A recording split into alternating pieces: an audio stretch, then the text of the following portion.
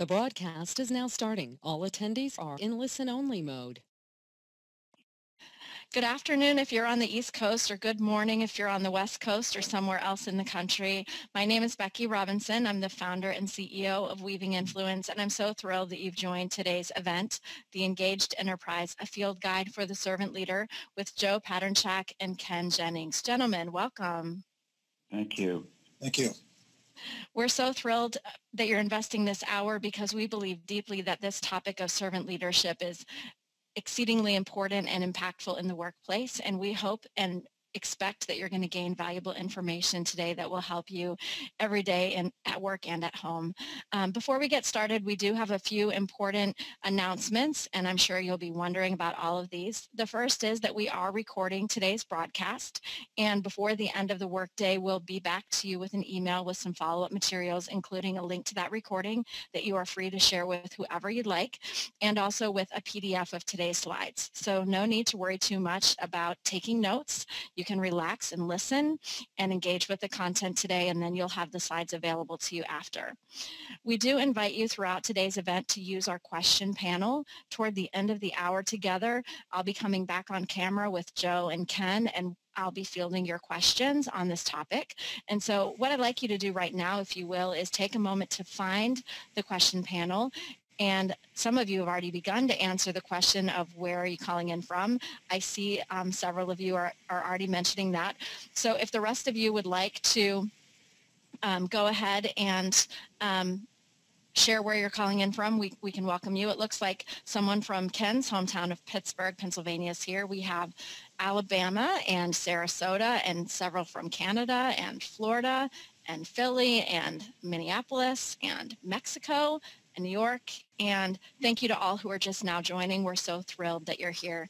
Uh, one more thing, we always like to invite um, our participants to participate on social media.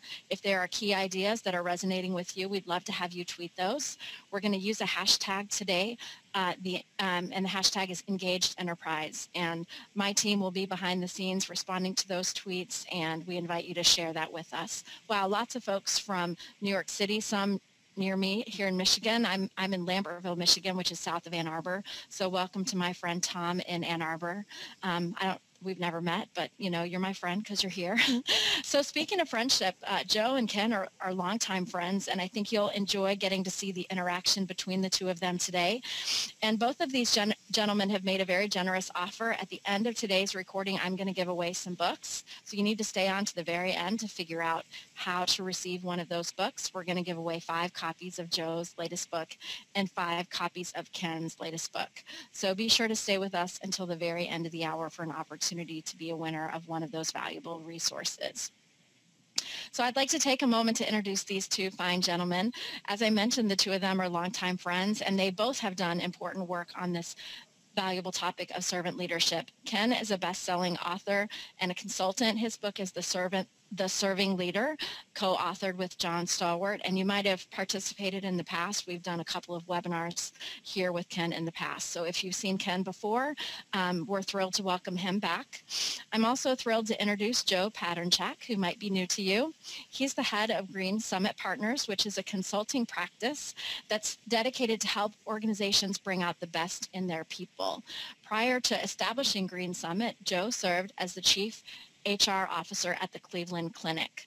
Joe also has uh, this claim to fame that he was a Northwestern football player. He has a twin brother and a really interesting background. And as, as you know, today this webinar is covering the topic of his latest book, The Engaged Enterprise. So thank you so much, gentlemen, for joining us, and we're looking forward to learning from you. Well, thank you. It's a great pleasure. Um, you ought to Google some of Joe's old pictures back when he had long flowing hair helping run the defense at Northwestern. Uh, I've, I've enjoyed over the years just hearing a lot of behind the scenes stories from Joe. And I have to say, you'll hear in today's uh, webinar how to take an organization from pretty low scores in engagement and patient satisfaction to near the top. Um, I think it's one of America's best stories on transformation. So it's my privilege. If I weren't a participant, I'd be a listener today for sure because it's a great, great story. And I'm going to be taking notes again. I always learn something listening to my my buddy Joe. I'm going to uh, get off of the webcam here for a bit and then rejoin a little later in the presentation to go deeper into some of the tools that we used at the Cleveland Clinic and uh, turn this back over over to uh, over to Joe. So over you, my friend Joe. Thank you, Ken. I appreciate the, the kind remarks, and uh, sometimes it helps uh, being an inside linebacker, former inside linebacker, to do some of this work because I think we all know it's, it's certainly not easy. Uh, I had a unique experience uh, at the Cleveland Clinic. Uh, the the CEO was looking to change the culture at the, at the, at the clinic, and he really felt that uh, the chief HR role was key in doing that, and he wanted somebody from outside of, outside of the industry to do that, coming from some of the great services companies which I've worked for in the computer industry with digital equipment, Compaq, Hewlett Packard, and of course uh, I was the chief HR officer at Blue Cross Blue Shield in Massachusetts before coming to the clinic. And they, uh, the idea was that the clinic needed to, to build a services culture on top of its great clinical culture because the rules of healthcare were changing. Uh, that patients were uh, just uh, identifying a, a, successful outcome is not only a great clinical outcome, but a, but a great patient experience as well. I'll talk more about that. But uh, one thing for sure, I, I, think it's very difficult to create an, a great service organization with a disengaged workforce. And um, in, in, the clinic, and we'll show some of the some graphs that demonstrate that. But the, the, the engagement was very low when I arrived there, and I think the CEO really knew that and he really wanted a chief HR officer to, to really help him with that, and I had done that in, two of the previous industries. Next slide. Let, us start with a, a, brief definition of what is this idea of employee engagement, because there are many definitions. There, you know, it's, a, it's a term that's misused, overused at times, and but this is one that resonates with me. Uh, and really, it's really a derivative from Watson Wyatt. And there's some key words here. It's a, it's a heightened emotional and intellectual connection. Emotional and intellectual connection with an organization, their coworkers, uh, the organization, their managers, and that influences them to provide, apply their discretionary effort to their work. Now, we all know that we have discretionary effort, uh, and we, we use discretion all the time. Uh, but organizations that have high levels of engagement, have, have employees that have have a, a, passion for the organization, both emotionally and intellectually, and that allows them to uh, apply that discretionary work. So that's, for in terms of grounding for our conversation today, you know, that's the definition we'll be using. Next slide. There's seven key drivers to engagement over the years that I've I've honed in on, and, and there are others, but based on my experience, th- these are the seven that I, I consider to be the most important. And, and frankly, uh, this is not a hierarchy or anything, but because uh, every organization is just a little bit different. But this idea of being, being connected to an organization's mission, uh, I think, is, is a big driver. Uh, does anybody in the organization care about me in terms of the, the, the leadership? Is the work stimulating, or is it sort of a dead-end job that it's not going anywhere, and people make me feel like I'm working in a back office? Uh, are there opportunities for professional development? Can I grow here? And of course, the relationship with my supervisor and colleagues, that, that direct relationship, very, very important. And does anybody care about my opinions? Uh, anybody ever ask me how I think about the work? Uh, and then finally, recognition for the work to, uh, that people do. Is anybody watching me and celebrating the things that I do really, really well? So here are, these are seven key engagement drivers, and you'll see this, uh, these several of these drivers flow out through the presentation in different forms and fashions. Next slide. What's the return on investment for, for putting our time and effort and mobilizing our organization around trying to build a, a uh, an engaged enterprise? These are some statistics that I've, I've received from Gallup. And, and you, you, can go down this list and just look at higher performance around productivity, profitability, uh, less absenteeism, higher customer satisfaction, and just total uh, uh, higher revenue per employee. So there, there, there's a great payoff for this. Uh, so it's not just a nice thing to do. It's, there, it's a good business thing to be doing. Next slide. So why isn't more progress, if this is so important, why isn't more, has more progress been made uh, in, this, in this space? According to Gallup, only roughly 30% of all people who work in the U.S. fall into this category of being engaged. Uh, after mission accomplished at, at, the Cleveland Clinic, I decided to focus my time full-time with Green Summit Partners, write this book, uh, and uh, hopefully trying to make a difference with, with some of those statistics. I also wrote this book because I really believe that a lot of organizations take the wrong approach when they really want to build an engaged uh, workforce. They view it as a tactical exercise, uh, rolling out a survey, putting some action plans in place, and, and rationalizing that a few a few percentage increases every year is a big is a big difference in their making progress. Uh, I'd like to have one thing I'd like you to take away from this presentation today is that building an engaged enterprise is, a, is an organizational change effort.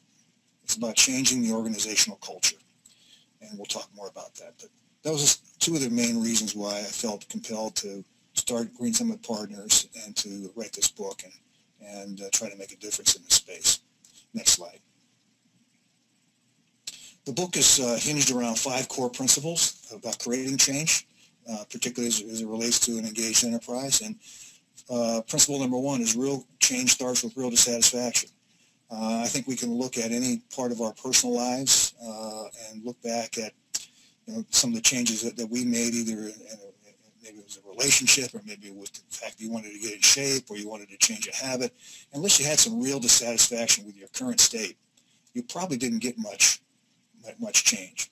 Oh, and by, by the way, sometimes that dissatisfaction uh, doesn't have to be a burning platform in organizations. It may be just the, the, the, the tension between where you are today and knowing where you could be uh, as an organization. I'll talk a little more about some, some leaders who have, uh, have a healthy, healthy form of uh, paranoia to keep their organization moving forward. When a mission becomes personal, it becomes a cause. I, I really believe that, that people do not follow mission statements that are on walls, uh, that they will get behind a cause when they feel like it's per, they're personally involved in it and they, they can personally see their role in that. And it's our job as leaders to help people make that personal connection.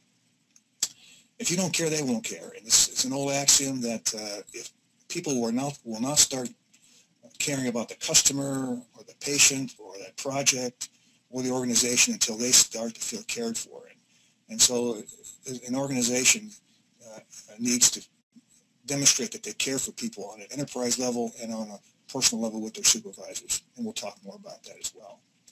Cultures are all about habits. And uh, as human beings, we know old habits die hard, so we have to hardwire the change. And there are certain levers to, to uh, invest in and to pull in organizations that will institutionalize the change that you, you want to put in the organization. So you have to pay attention to that. And this is part of the organizational change and sustainability part of, uh, of, of, this work. And then, of course, finally, it's, uh, it's about pyramids, not sandcastles. Nobody expects a sandcastle to last past the first tide that comes in and goes out. Uh, you know, it's just a, you know, we, how many organizational, I call those organizational fads uh, that come and go as people, uh, some leaders have an idea and, and it's focused on for a while, but it, it's not hardwired, so it doesn't become a permanent change. Uh, pyramids are built from the ground up with great engineering, and they're meant to, to last for really forever. So uh, uh, so this, it's all about setting the right expectations around the timing around some of these changes. So these are the five principles that, that uh, the book is hinged around, and we'll be talking about each one of these a little more in detail. Next slide. I'll be drawing uh, some stories. Uh, uh, I call these notes from the field. The book is written as a field guide, so it's, a, uh, it's meant to be very practical. Uh, as a, it's certainly grounded in research, but it's meant for a, any user, whether you're managing a large organization or a small organization, for-profit, not-for-profit, you're managing yourself, you want to influence an organization. Uh, and so I've, I've, I've, written it as a field guide. Uh, I got this idea, of, I'm a avid fly fisherman and self-taught, so which means I'm not very good. But I, I uh, every time I got into the water, I would keep keep a journal of what worked and what didn't work, and I and it's field journal field guides are very short and uh, to the point, and you'll I think you'll find this book uh, that way. Examples uh, are a case study uh, from from the Cleveland Clinic and other organizations, but primarily from from the clinic uh, represent the notes from the field. The clinic is one of the top five, four or five hospitals in the country. It's a, a large organization, over 43,000 people, uh, 3,200 physicians, scientists. So it's a diverse uh, organization, and you know, an organization has long-term, long time been managed by doctors. It's a physician-run organization of uh, 90 years, uh, and been one of the top uh, heart hospitals for over the last 20, 20, 24 years. Next slide, please. So the first principle, real change starts with real dissatisfaction. As I, as I touched on earlier, uh, in order to get some real change in the organization, you really need to have some dissatisfaction with your current state because this building an engaged workforce is about organizational change. Like I said, it's not about chasing some tactics uh, although those are important, but they've got to fit into a larger plan. So the way you, how do you mobilize an organization to really get serious about focusing on engagement? Next slide. Well, at the Cleveland Clinic, when I got there in 2008, we had some some bad news. I'm not going to say bad news because in a second I'll say there's no such thing as bad news in an organization. There's only news that can can validate the path that you're on will help you get better. And as a servant leader, uh, we've got to tell ourselves the story uh, that this is information that will help us get better. And uh, this was some of the results of the first survey. Uh, unfortunately, uh, you'll see in the red box, you know, the clinic the of engaged actively disengaged was just 2.8 to 1. Now, according to Gallup, in, in the, that, that ratio needs to look like 4 to 1 just to neutralize uh, the toxic behaviors of one negative individual. So it takes four actively engaged employees to neutralize the, the behaviors of one highly disengaged negative individual. Uh, and we were below that neutral state. And, and world-class organizations, according to their research, that ratio needs to look like 9.6 to 1 uh, to achieve world-class levels of service or product development. So that was interesting. Uh, it was interesting news. And first thing that happened was that uh, normally when you organizations and people get news like this, the first thing you want to do is dispute the data and uh, question how valid this information really is. Uh, because after all, you know, the clinic is one of the fourth ranked hospitals in the country. And so what's the problem? Uh, why, why should we even worry about this was part of the dialogue um, until uh, we had some other dissatisfying news. Next slide, please. And this other news was uh, information from the HCAHPS survey. This is a, a survey that the federal government had launched in 2008 as well, and it actually measures the patient experience. So this is sponsored by the government. It's, it's, it's uh, it's sent by the federal government to, to patients who have left the hospital. And across the left, there are a number of the, the dimensions that are measured, communications with the staff, responsiveness, cleanliness, pain management, all those things that are important to patients while they're in the hospital, in addition to, by the way, getting their medical uh, uh, uh, problems resolved. And as you can see, the clinic was only slightly above average about when around that question, would you recommend the hospital? And average to well below average in other domains. This was a real dissatisfier. and I, I will tell you that I'm not so sure we would have mobilized the whole organization the way we did if we hadn't got this news. Uh, because we had a, a, number of institute chairs uh, say, geez, I can't understand why we're all worried about our employee engagement. When, geez, I had a barbecue the other day at lunch and 500 people showed up what's the problem? And uh, of course, I, I, responded and said, well, I, I, I, don't think it really tells you much other than 500 people will show up for a free lunch. It doesn't, doesn't tell you whether they really care about the organization or feel that they're being treated well. Uh, so again, this what this message was a, a, real clear statement that our CEO had some foresight around this, that the patient experience now was being an important part of a, of a hospital's reputation, and also its reimbursements. So uh, uh, the federal government would, would damp down your your reimbursements in Medicare and Medicaid if your dissatisfaction uh, uh, from your patients was high. So they have, have, have scales to, to do that. Uh, reputation to a hospital is, is, is really important. Uh, oh, and by the way, consumerism has come into health healthcare over the last several years, in that uh, hospitals are rated for, across these dimensions. You can go online uh, there's transparency around quality, safety, and the patient experience, and you can choose hospitals and doctors based on that. So uh, this was these two came together at the Cleveland Clinic to uh, recreate the dissatisfaction that we needed to mobilize our organization and create some change. Next slide, please. So principle number two, when mission when a mission becomes personal, it becomes a cause. this graphic this illustration here was uh, drawn up by a really talented art therapist uh, in Pittsburgh.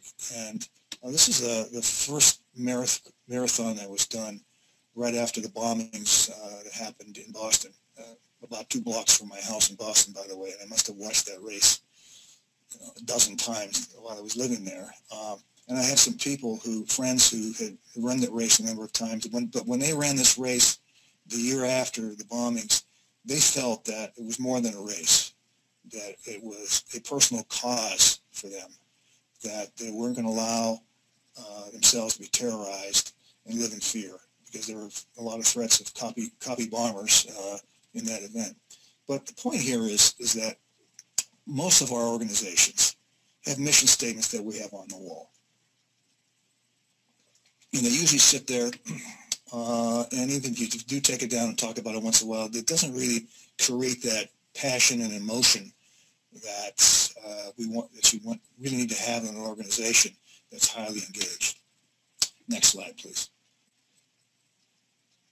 Well, we had this we had this problem at the Cleveland Clinic as well. Was being you know uh, the Gallup measures how how well people are connecting with the mission, and this was a low score for us which in the hospital I think is quite concerning, uh, really in, in, in, any organization, but particularly in a healthcare organization where there's you know life and death situations going on. Right? And uh, you know, we, one of the things that I began to examine uh, was uh, the language in an organization. Our CEO really gave me some luxury uh, in terms of really asking me what did I see in the organization. I have untraveled vision. What what did I see?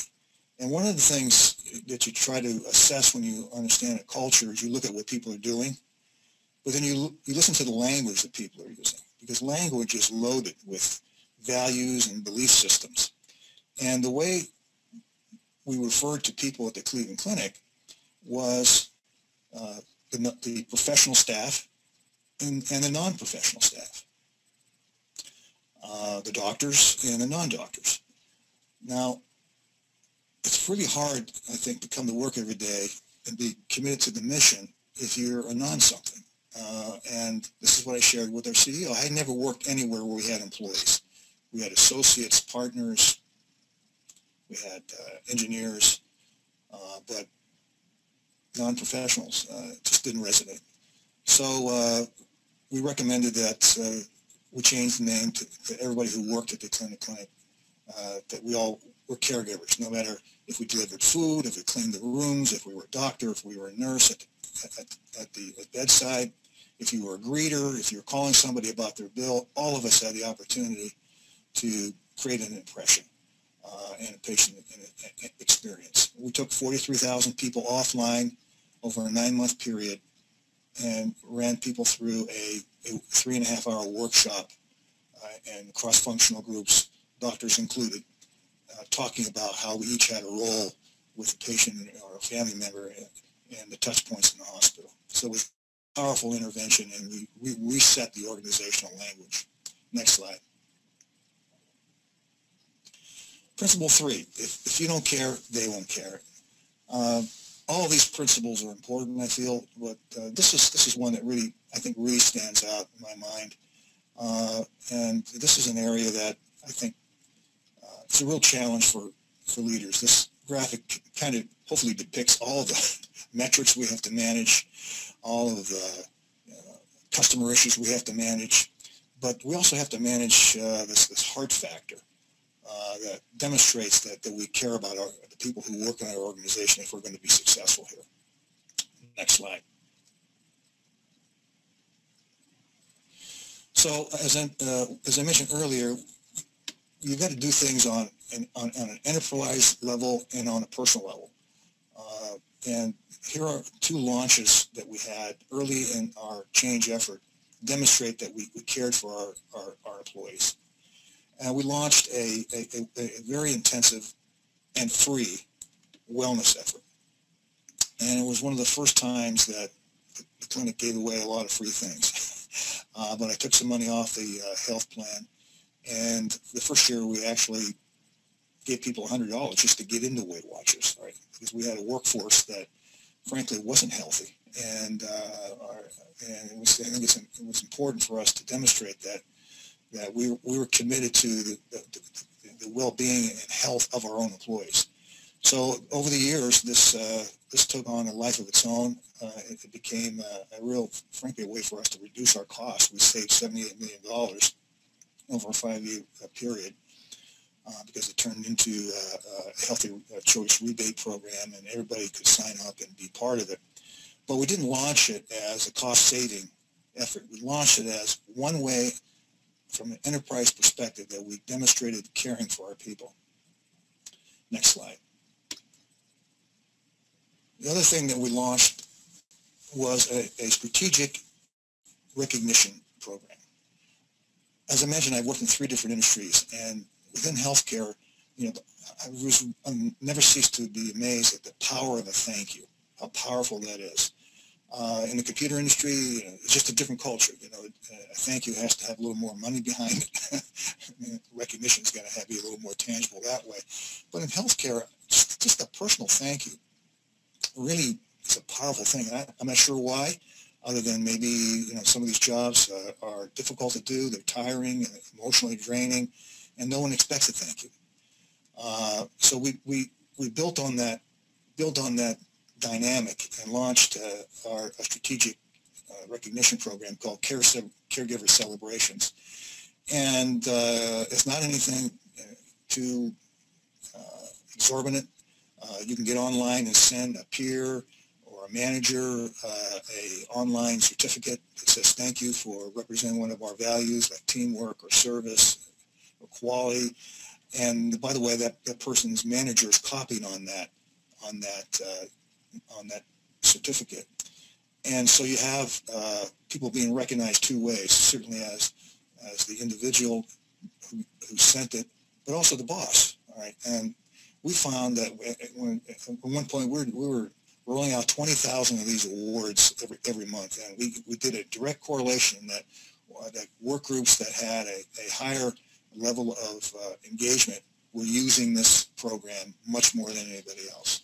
So uh, were, these were the two things early on that were uh, visible uh, and one that were, were some early wins. And you need some of those early wins because, as I mentioned, you know, we're building pyramids here, right? And it takes it does take time, so you need some early wins in your change effort. Next slide, please. The thing that sustains this change, however, and, really, as I mentioned, people work for leaders and not necessarily companies. Um, we had to really look at the way we were managing and leading in our organization. The Cleveland Clinic was very heavily steeped in this command and control. And of course, uh, down the left dimension are the normal descriptions of, of command and control environment. Down the right are some of the descriptors of, of, of servant leadership. One relies on power, the other one relies on the moral authority, uh, putting the organization first and serving the organization.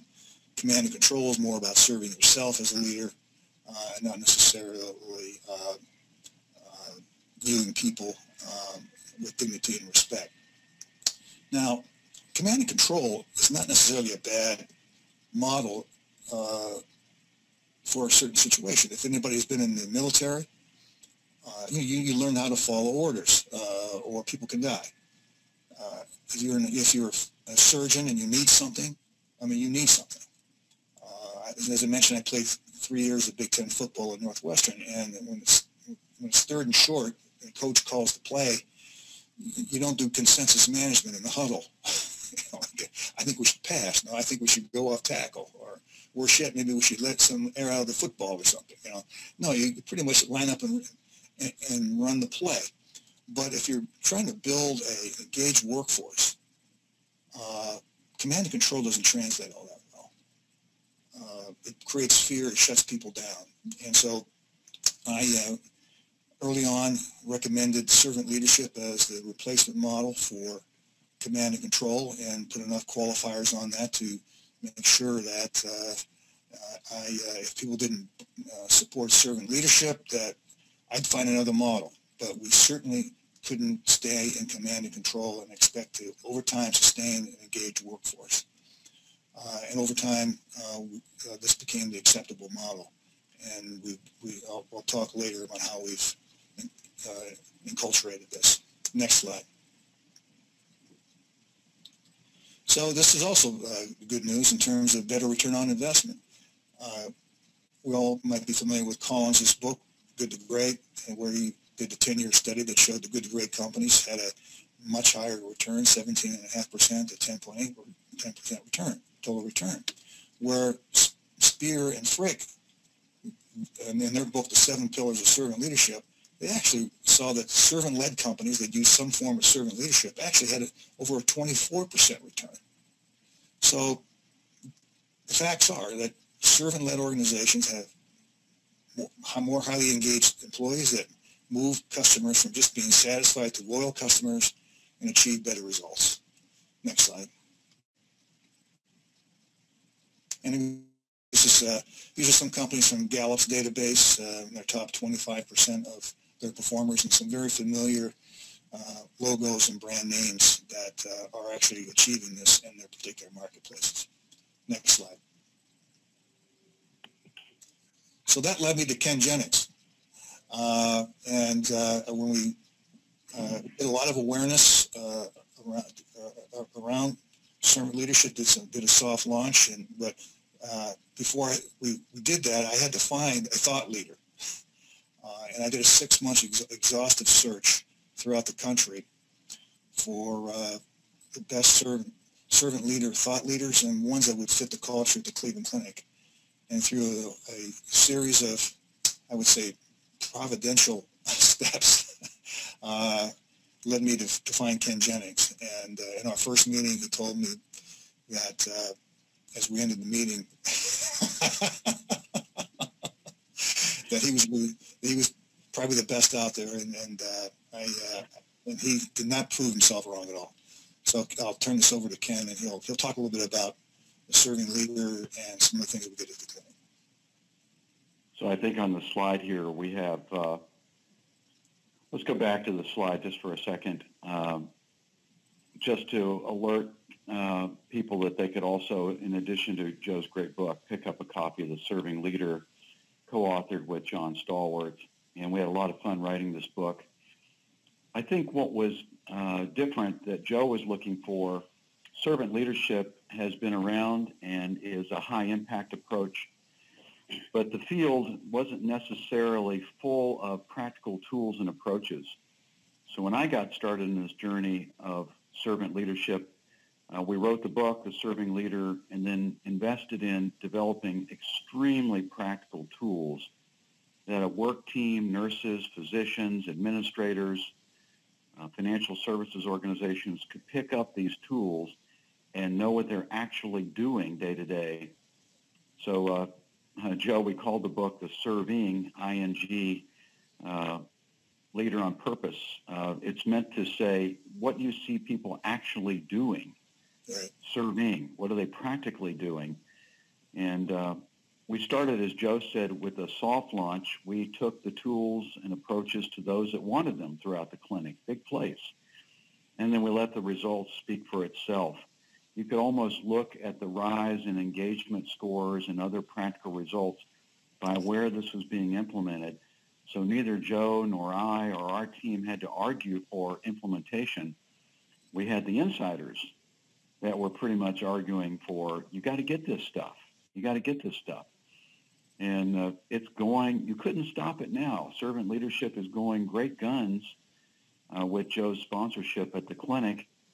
It's going great guns, getting broader and broader uptake, and as a beacon for practice of servant leadership uh, throughout uh, throughout healthcare.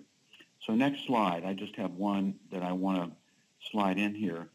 Um, the serving leader tools and approaches that uh, Joe sponsored and that uh, Third River implemented on his behalf throughout the organization were built around these five uh, uh approaches, actions of a serving leader. And we have this upside down pyramid to sig- signal that it's not the typical hierarchical pyramid of I'm at the top, aren't you lucky? Uh, you that are down below me. This is meant to communicate that a serving leader is at the bottom of the pyramid, empowering others. So I'm just going to touch on these actions and then turn it back to Joe to tell you the rest of the story at the clinic. A serving leader builds on strength. He knows the strengths of each individual in the team and the team itself so as to build on it, not just get rid of weaknesses, but build on the strength of the team. So you get better and better in what you do.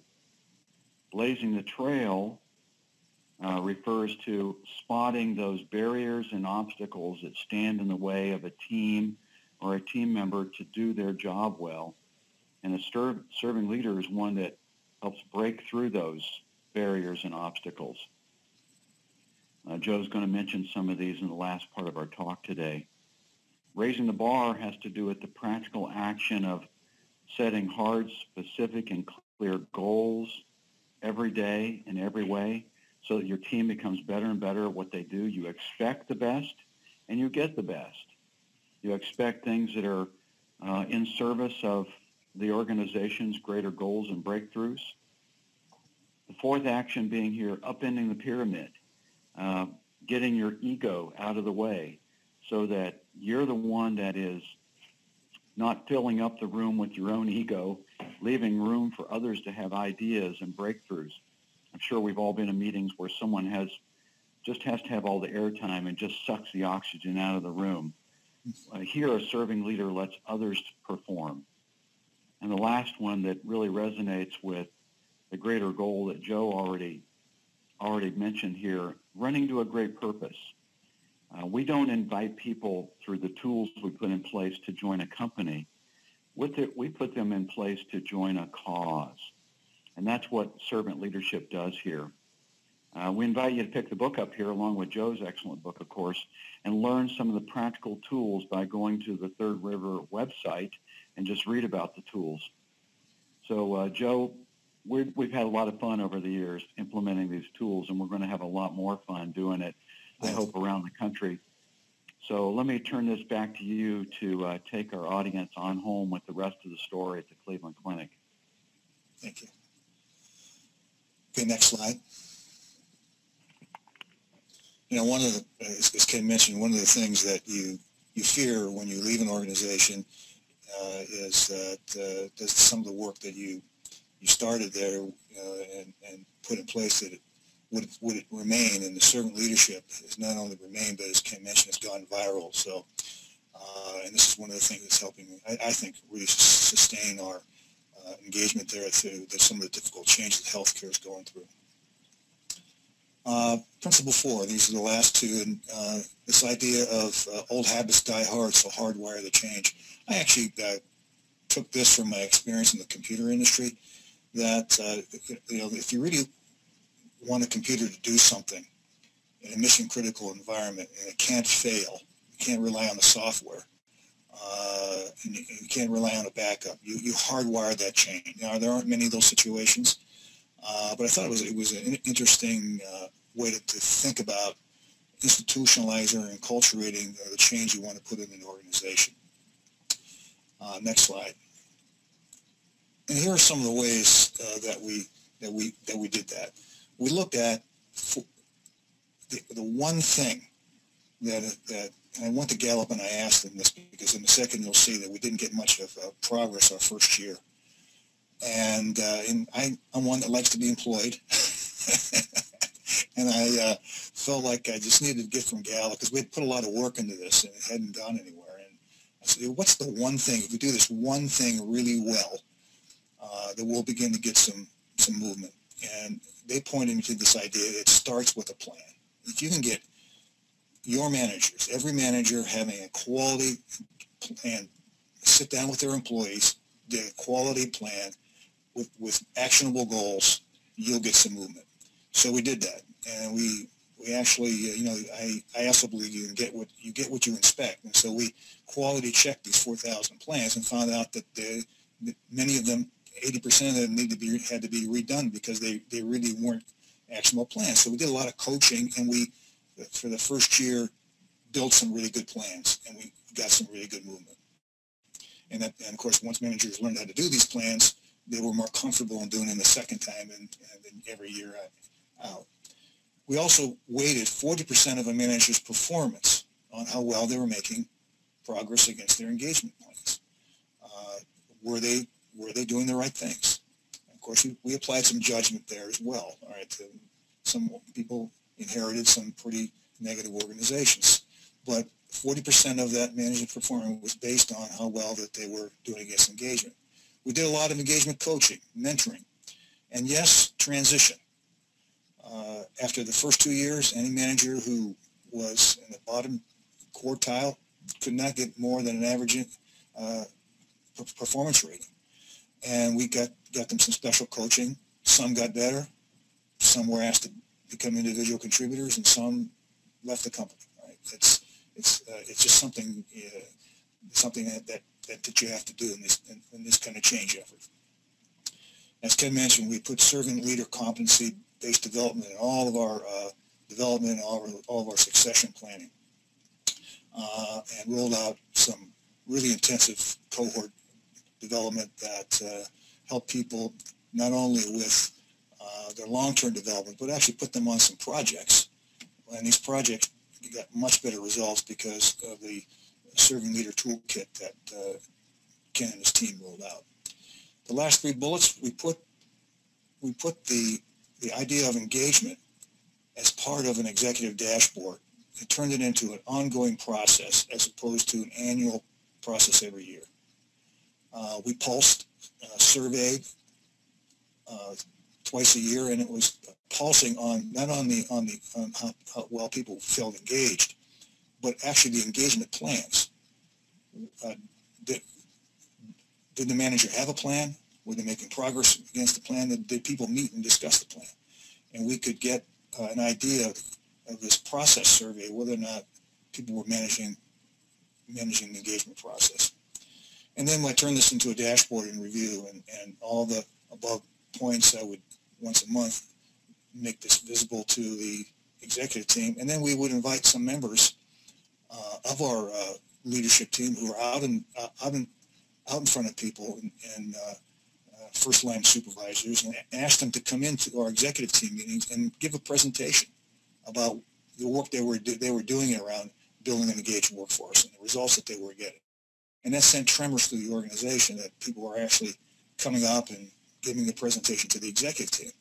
But I think equally as important, it created a sense of reality uh, for the for the leadership team. You know, an executive team. You know, we, we think we know everything. We think that we're really in touch with what's going on in the organization, but we're we're really not.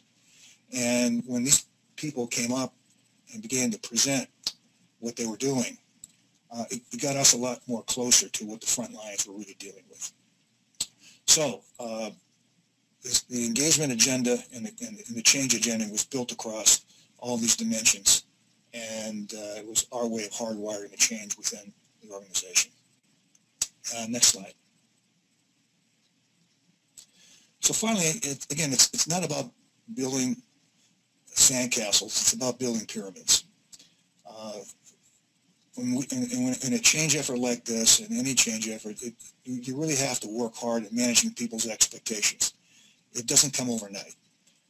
And uh, uh, next slide, please, and I'll, I'll talk a little bit about managing expectations. You'll see from 2008 to 2009, we actually uh, stayed flat. Some actually even dipped a little bit lower.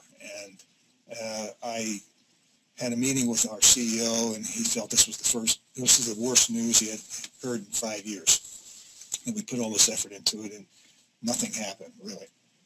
And of course, I I leveraged that dissatisfaction to get 40% of a manager's performance rating uh, weighted on employee engagement. Uh, so I embraced that that level of dissatisfaction to to uh, make an, make that change. But you can see that uh, over the five-year period, we went from the 44th percentile to the 87th percentile, and uh, that red line is the HCAHPS scores, the patient experience scores. They map right along with that rise in the employee engagement scores. And you'll see at the bottom of this slide, our philanthropy went up 47% over that same period. Uh, really, uh, hospitals cannot survive without some level of philanthropy. And, and uh, we, we call this our grateful patient uh, contribution, where we go to people after they had a had, had an experience at the clinic and ask them would they consider being a grateful patient. And by the way, that this was outside of any major building campaign or anything else. This was just uh, people uh, who had been in the hospital and had had their experience there. And uh, you can save someone's life, but they may not be a grateful patient if they had a real bad experience. So uh, I think this was another indicator that we were making great progress. Next slide, please. What about the engagement ratio uh, that we started on, uh, started the presentation with? As you can see in 2008, that ratio was 2.8 to 1, 4.1, uh, 4 to 1 just to be neutral, 9.6 to 1 to be world class. At the end of 2013, uh, that ratio had had uh, skyrocketed to 10 point to 10 to 1. So uh, we we're delivering world class patient experience uh, because we had world-class scores. Next slide.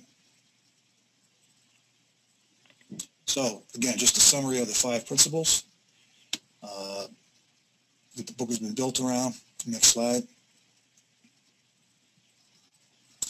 And so uh, what's the what's the call to action for you? Uh, certainly would love for you to uh, go on Amazon and find the book and, and buy the book. Uh, buy a copy for your friends and neighbors, all the people in Section 16 of your favorite baseball baseball field. Uh, learn more about it at my uh, at uh, my website, Green Summit Partners, uh, or call me. Email me, call me, and would love to talk to you about any challenges you may have in transforming your organization. Next slide. So that's my story, and I'm sticking to it. And now's the time for any questions, uh, comments, and reactions you may have. Sure. Uh, Joe and Ken, we do have several questions that have come in. And I like this one. It's quite interesting. Kevin is wondering, with all the uses and misuses of the term servant leadership, what do you think of a different term, the leading servant?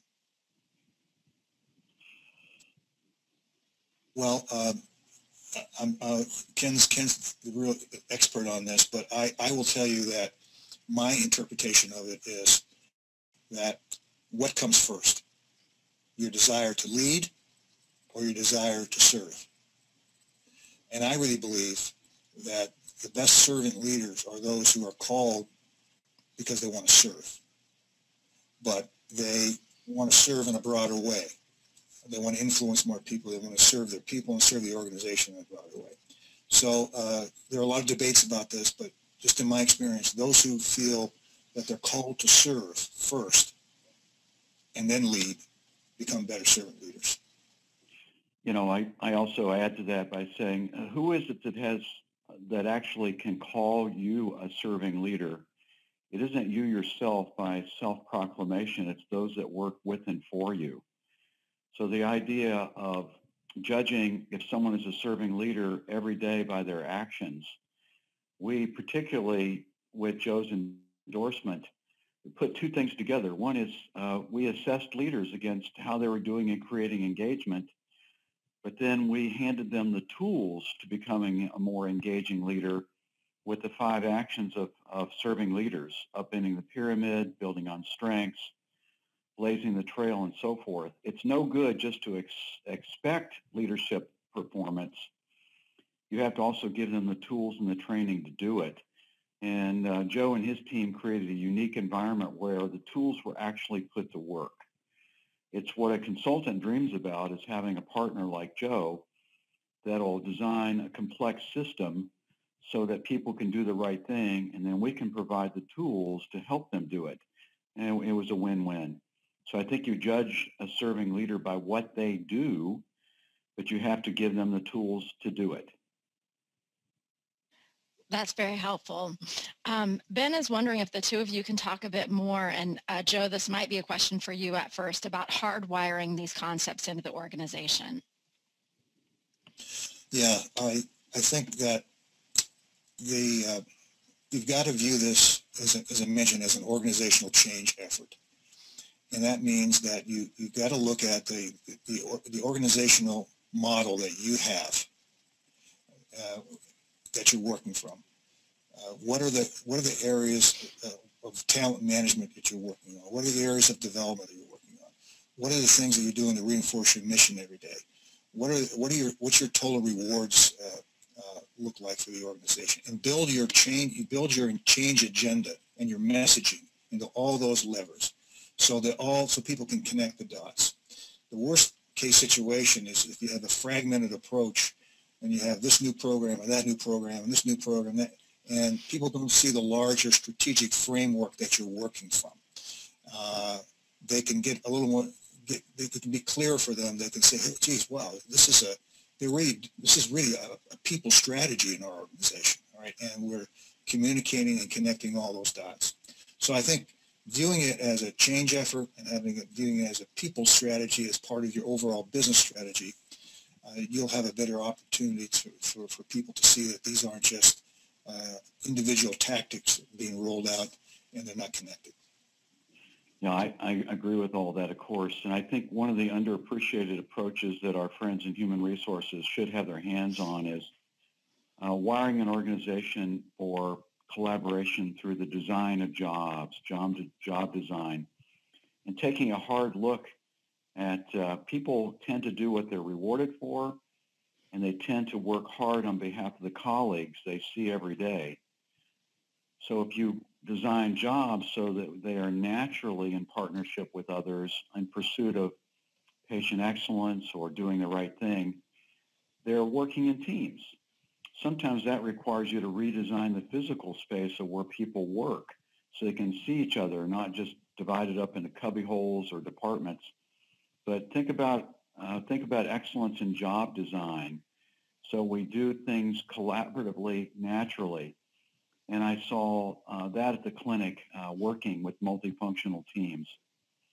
What other questions are popping up out there, Becky? Uh, just a gazillion questions. Uh, I find this one to be quite interesting. Roy is wondering if you can talk a little bit more about the calling and the calling to servant leadership and how do you know that you're called? Well, it's a, it's a fantastic question. I want to let Joe speak first, and maybe he'll even be personal a bit about how he knew was he was called to be a servant leader at the clinic. Well, I uh, I had an opportunity. You know, it, moving back to Cleveland, I'm originally from Northeast Ohio, uh, a small steel town, Warren Youngstown area. Uh, actually, little township called Howland Township, and, and I didn't wasn't all that interested in moving back to Northeast Ohio uh, after I lived 30 years in Boston. Uh, but I went out there, and I had a uh, series of I think moments that I consider to be signs of providence. Okay, right for myself. I going for my final interview with, with the Cleveland Clinic, uh, and, I know that our CEO was going to offer me this job, and I was, I was thinking how I could postpone this offer because I had some other things going on in Boston. And so I decided to wake up in the morning and just put myself in, in the environment to see how, how it felt.